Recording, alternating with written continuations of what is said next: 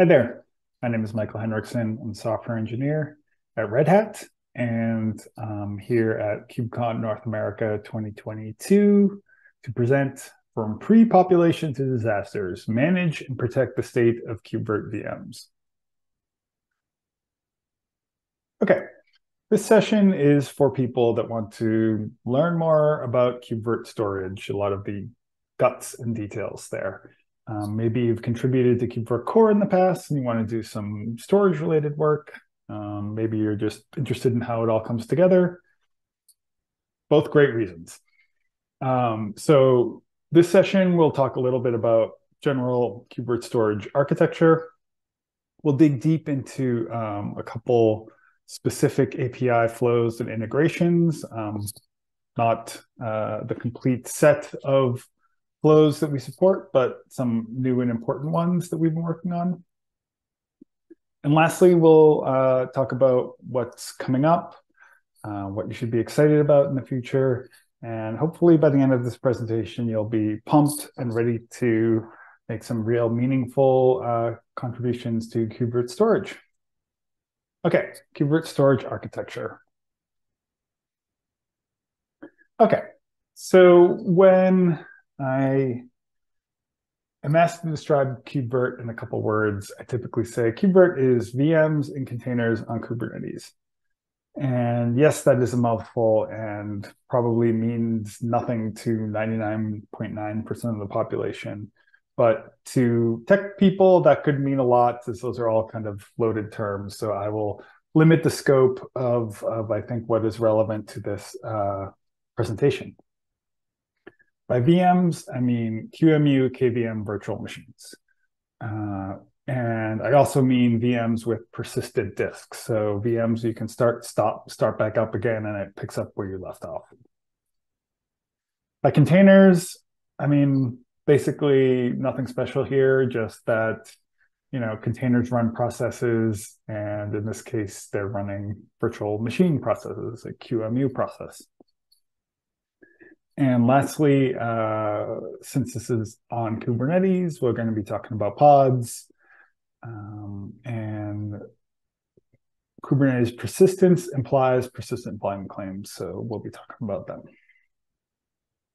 Okay, so this is kind of the KubeVirt storage architecture. Um, on the right is a persistent volume claim with a single file called disk.img. That is a virtual machine disk image. That is what QEMU KVM virtual machines expect to boot from. Most of the time, they can be given kernels or, or there are other things, but for KubeVirt, we, for the most part, you boot from a disk image. So how does that plug into the rest of the architecture here? So when you start a VM, pod gets created, a pod has a container that runs a virt launcher process. Virt launcher communicates with libvirt. libvirt starts QEMU, which is basically your VM. And the VM uh, boots up. Um, it has a boot device. Uh, in this case, it is devvda. And in there is, you know, presumably a kernel and what looks like a standard Linux file system. And yeah, so according to the guest VM, it just sees this device. Turns out that device is actually this disk.img file on the file system. So pretty simple. I mean, uh, for the most part, um, I think file system PVCs are the most common, and this is what will probably be the most common um, storage configuration. Okay, KubeVirt also supports block devices, and um, it's not much different. Um, on the right, we have a block PVC. Uh, the data on that block device is simply that disk.img from the previous slide, but written out to the block device. And that block device is uh, made available to the guest VM um, as you know dev VDA in this case. And yeah, it works very much the same as before. Okay, I would be remiss if I did not mention uh, VirtIOFS. VirtIOFS um, is a great way to share PVC uh, persistent volume claims between container and virtual machines. You cannot boot from a VirtIOFS configured persistent volume claim, but it's great for sharing data and it all is accomplished uh, via the magic of Fuse file systems. So in this case, um, we have a plain old persistent bond claim on the right with some files on it. It is made available to the guest VM via VirtIOFS. Um, and that starts VirtIOFSD, which um, starts also the Fuse uh, client in the guest VM. And yeah, so the, basically the uh, Fuse call, the Fuse implementation is pretty simple. Just translate the calls from the guest to the client and mirrors everything. So yeah, it's a great way to share data between um, VMs and containers. Uh, no disk image files required. But of course, you cannot boot from Fuse. Um, so this VM has uh, you know, a regular boot disk as well. Okay, so we're going to get into some flows, APIs, flows, and integrations here. Again, not the complete set of things you can do with KubeVirt, but just some things we've been working on recently and, uh, you know, want to put out there in the world for you guys to use and hopefully enjoy. Okay, so we're going to talk about, we're skipping day zero, which I guess is planning day, because on planning day, you decide to use KubeVirt, and that was a very wise decision in, in my book. Um, and I'm sure a decision you will look on fondly. So let's talk about day one operation, provisioning. You want to set up your environment for, you know, maybe you're building an infrastructure as a service and you want to make it really easy to provision new virtual machines. Okay, so first you have to talk about the data volume API if you're talking about persistent virtual machines uh, with KubeVirt. If you've used KubeVirt before, you're probably familiar with the data volume API. It basically um, encapsulates two things, um, a PVC definition and the source of a virtual machine disk. When our data volume controller encounters a data volume, it will create a PVC and populate it with the source disk image. Often we use PVC and data volume interchangeably. Um, and um, yeah, so that, that's basically it. So if you can look at this data volume definition, we see the source uh, on this left here is a, a, a URL and we have the PVC definition down here, a 10 gigabyte read-write many block PVC. Here are examples of some other sources. We have a, a registry source, which we'll see later. Um, we have a PVC source, which we'll see later. This is what we call also data volume cloning. This is the most um, efficient way to populate uh, a data volume or PVC, uh, assuming that your storage supports um, snapshots or CSI cloning. Uh, the upload source allows you to upload a disk image from your laptop. The blank source is basically just, um, we'll create a blank disk that you can mount in your virtual machine and, and create a file system, do whatever you want. Okay, so this is, I'm going to describe here briefly DIY golden image provisioning. Uh, this was what we kind of initially suggested um, when we rolled out uh, and CDI.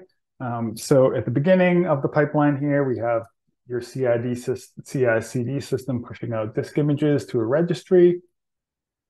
Those disk images are getting imported into this golden images namespace. In this case, we have a RHEL, a Fedora, Ubuntu image. And then uh, the client um, will create data volumes that refer to um, PVCs in that golden images namespace. So you get that efficient cloning advantage. Um, and it's all pretty nice. You have this catalog and golden images and, and clients can, can um, create their virtual machines from that. And that works well uh, kind of the first time through, but uh, then some challenges kind of creep up. So, okay, well, how do you keep this golden images namespace uh, current. So the CI/CD system is is constantly pushing out um, new images. There are security fixes, and you want to make sure that all your clients get the latest uh, image. how do you do that? And then um, just the mechanics of how do you do that in a non-disruptive way. Uh, you can't just delete these data volumes. What if someone is, is using them as, as a source? Um, so some some challenges there, and came up with a solution called the Data Import Cron API. Um, you basically uh, it will you point it to a registry source, in this case, this Fedora registry disk demo thing. Um, you give it a schedule, in this case, every hour. And then there's a new thing called a managed data source. So a data source is kind of a symlink for a PVC. Um, so in this case, we have a managed data source named Fedora. Um, and then over here, when you're the consumer of this new API refers to a source ref uh, kind data source in the golden images namespace. So it's not referring to the PVC directly, rather it is referring to this managed data source. So let's see how that works in practice. Um, okay, so we have a um, the data import cron process down here is watching the container registry. Um, it is configured to go every hour. It is uh, polling for this Fedora image. Um, every time the container registry is updated, it will create a unique new data volume here and update the data source to point to the newest one. And then the clients, they simply re refer to the data source that they are interested in. Um, you know, in this case, it is we're only showing the Fedora data source.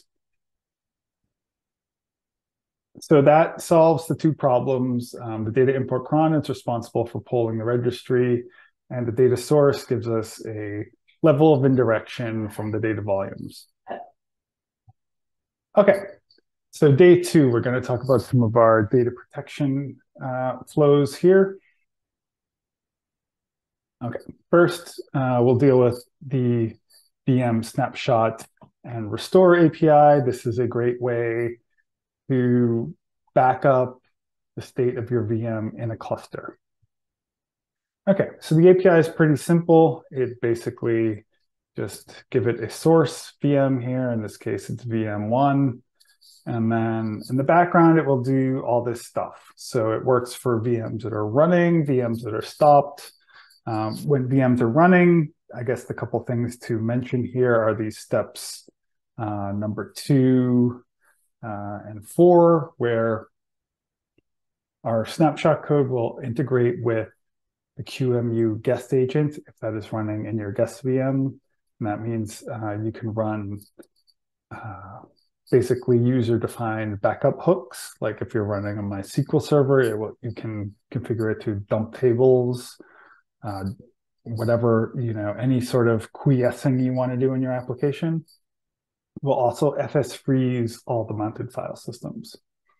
So I'm not going to uh, go through everything here, but uh, essentially, once your snapshot is complete, um, you should have a, you can't have an application consistent in cluster backup of your VM disks and your VM configuration.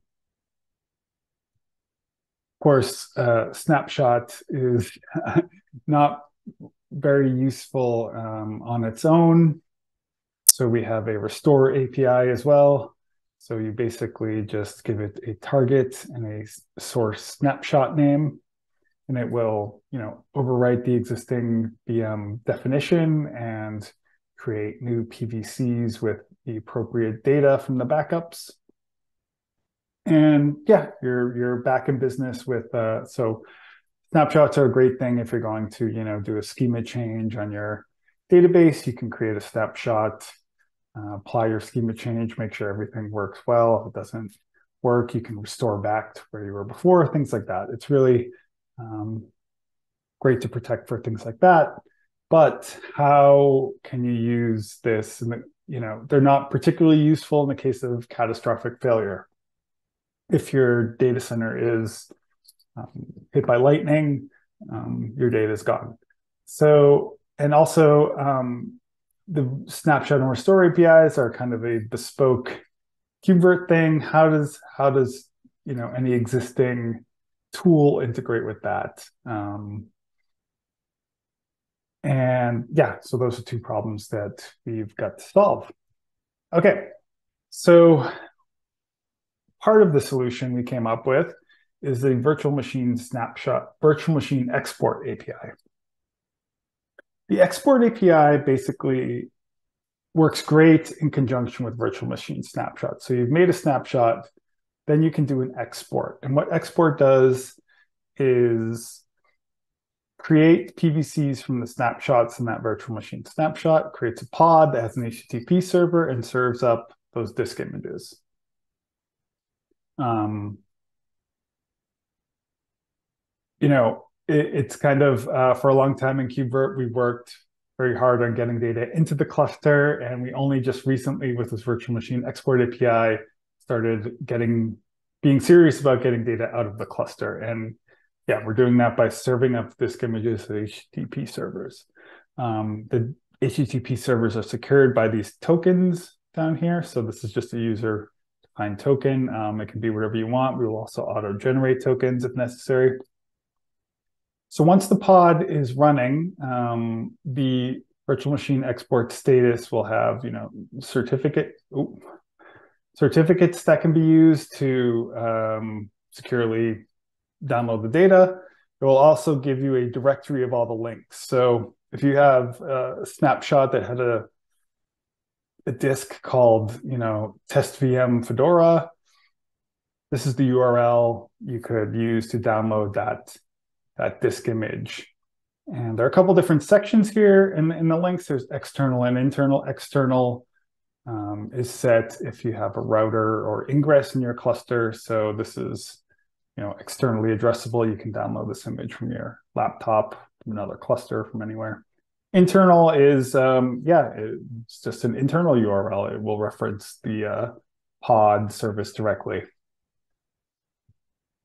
And this is kind of just a weird example of how you know that URL in the link section is parsed.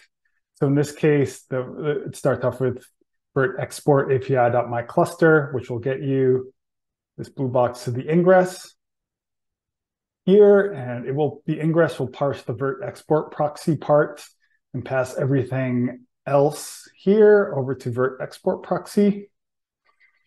And virt export proxy will parse, you know, namespace, name, whatever to get you to the virt export server.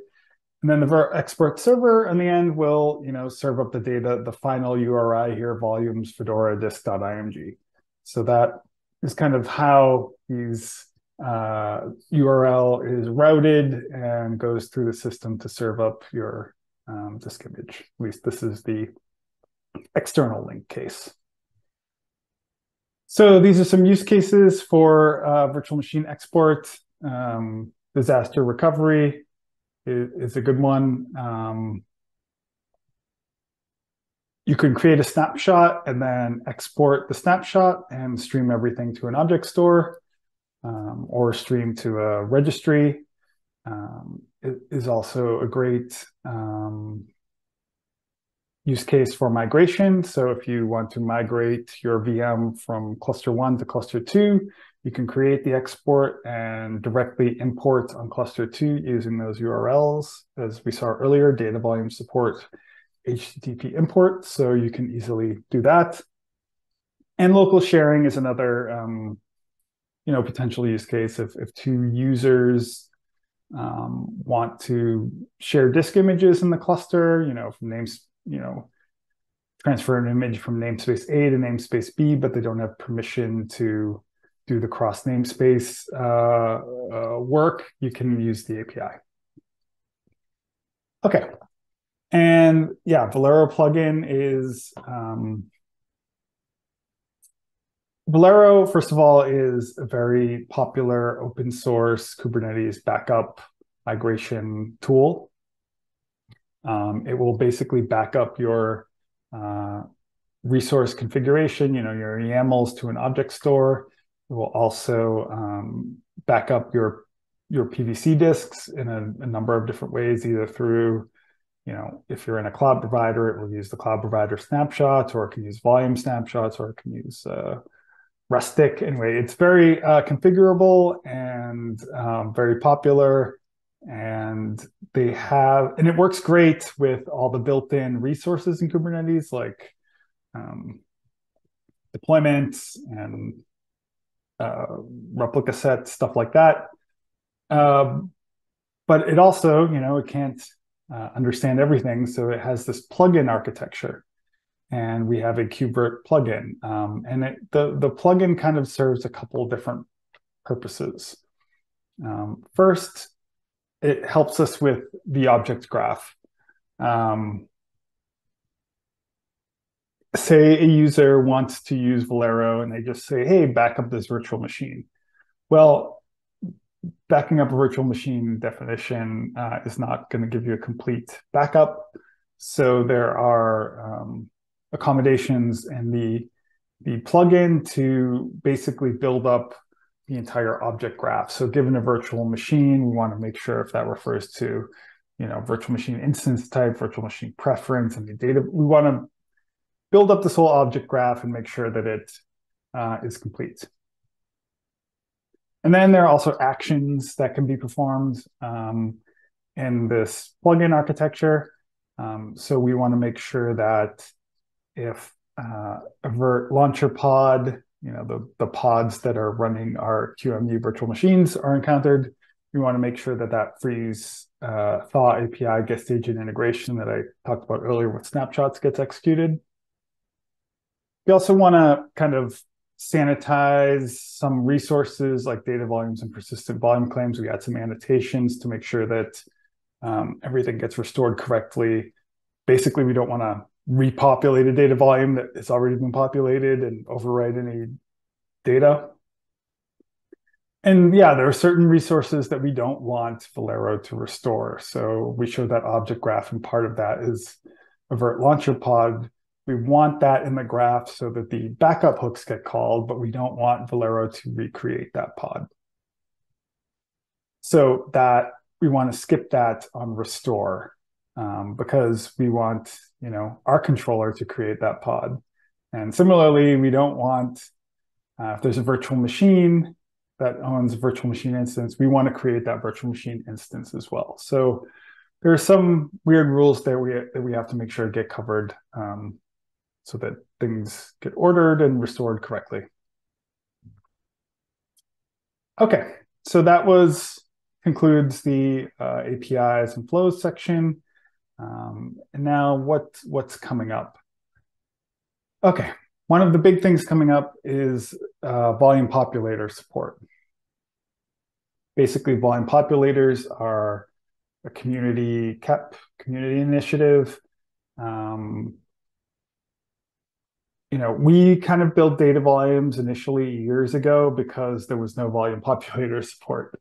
Um, and you know, volume populators make it pop make it possible to define in a standard way. You know, what data should um, come with the PVC when it is initially created. And just to show an example here, we have a data volume that has an HTTP URL import. Um, the populator equivalent will have a data source ref field set that refers to um, which would be a new API group, a kind of import. And for, so basically just refers, refers to another custom resource. And um, this is what that custom resource could look like. Um, it's basically what's going on here is you're you know, the data volume has all the information embedded in it to um, for the source. And with populators, that is kind of abstracted out into another resource that can be shared, which is kind of nice. Um, and here's the process for for population. Um, the big thing here is step one, the external provisioner will ignore any PVC with data source ref set. And then you know, our set of populated controllers basically take over um, to get the right data on there, and then we rebind um, the PVC that the user, you know, since the external provisioner ignored the PVC, our controller is now responsible for binding it back up. So that's what happens in uh, step six here. Okay, so that's volume populators, kind of um, the new kind of cloud, you know, Kubernetes native way of populating PVCs. Um, we'd like to have support for that for all of our existing data volume sources.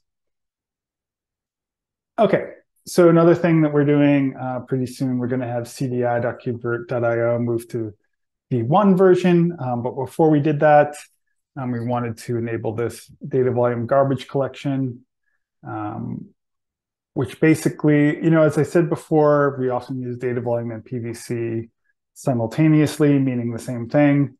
Well, it got it's kind of confusing for people, so we're now offering um, garbage collection ability, similar to how Kubernetes cron jobs or jobs get garbage collected. We're going to allow data volumes to get garbage collected. So once your PVC has been populated and it's got nothing left to do, it will delete itself or it will get deleted by our uh, garbage collector.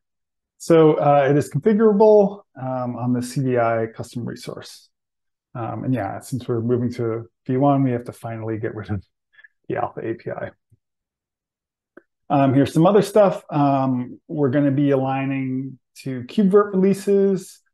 Um, currently, CDI is released every three weeks. We're going to be releasing that, changing that to three times a year uh, to be in line with KubeVirt and staggered somehow with Kubernetes. Um, we're going to move the snapshot API to V1 Beta 1. Um, we're going to have a new data volume source and probably a populate a data volume source for volume snapshots. Uh, do automatic size detection. Um, yeah, and uh, keep expanding upon the VM export API to you know be more useful. So yeah, um, that's what's coming. I hope that is in line with what um, you in the community um, are looking forward to. But you know, we'd love to hear from you, and uh, we'd love to have more contributions. Um, you know, uh, any features uh, that that you want to implement, we are happy to work with you on that. Um, there's a maintainer session, so you know um, yeah, let's. Um, we we really want to be more active with the community on the KubeVirt storage side. So we're we're calling on you to, um, yeah, to to uh, let's work together to uh, make CDI and KubeVirt even better. Any questions?